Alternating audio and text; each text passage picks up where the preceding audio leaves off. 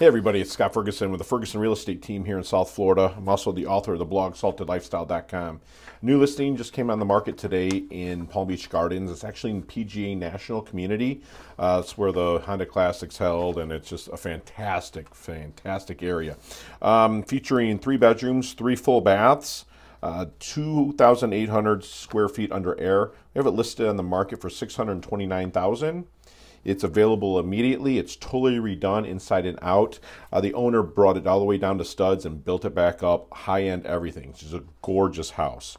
If you have any questions or would like to know more about the property, actually click below on the picture and it'll take you over to Agent Ferguson website where you'll be able to view all the features, functions, benefits of the property.